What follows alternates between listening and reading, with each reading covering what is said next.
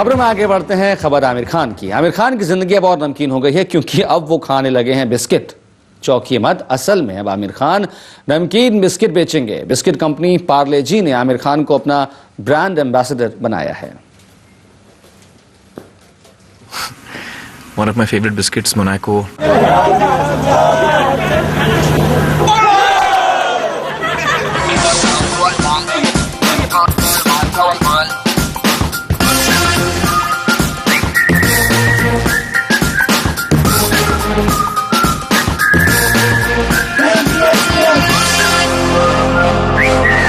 इसमें तीन कमर्शियल्स हैं इस पूरे कैंपेन में जिसमें एक सिचुएशन में आप देखते हैं कि आमिर को अपने दोस्तों के साथ फ़िल्म देखने के लिए जाना है। और थिएटर्स थिएटर के सामने से ही एक बहुत बड़ा सा एक रैली जा रहा है। और उसमें काफ़ी ऐसे लोग हैं जो उनको रोक रहे हैं उन, उनको और उनके दोस्तों को आगे जाने से रोक रहे हैं। तो आमिर के लिए एक बड़ा चैलेंज है कि सामने कैसे जाएँ।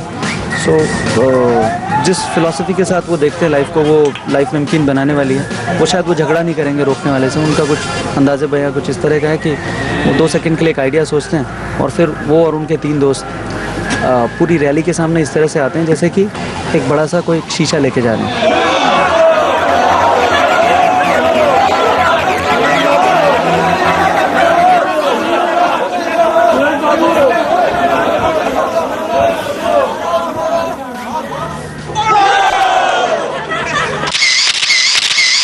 मोनाको नमकीन बिस्किट है तो लाइफ नमकीन बनाइए, इसके इसके इर्द गिर्द हमारी सारी कहानियाँ घूमती हैं। थोड़ा सा हल्का सा ह्यूमर है लाइट हार्टेड फिल्म्स हैं।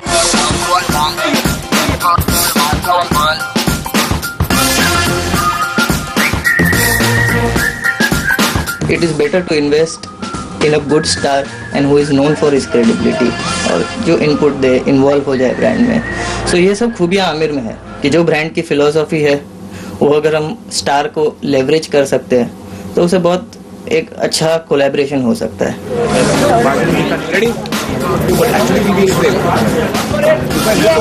Uh, yes. see on the monitor. Yeah.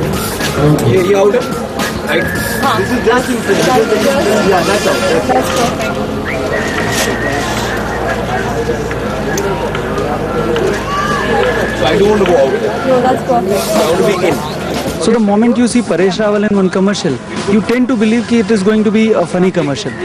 लेकिन जब आप आमिर खान को देख रहे होते हैं स्क्रीन पे तो आप एक बहुत एक एक किस्म की अनप्रडिक्टेबिलिटी होती है आपको पता नहीं रहता है कि आ, वो किस तरह का जोक करने वाले हैं किस तरह का गैग करने वाले हैं और I guess that is the very very what you can call it a plus point for for a brand Aamir की अगर आप फीचर फ़िल्मों में भी जो इमेज अभी तक रही है वो देखें तो वो इस तरह के जहाँ उन्होंने एक टाइप कास्ट में नहीं आए हैं अभी तक वो। एक जैसे रोल्स नहीं करते रहे। अब लगान में जहाँ वो एक क्रिकेटर हैं गाँव के, वहाँ मंगल पांडे में एक फ्रीडम फाइटर बने हुए हैं।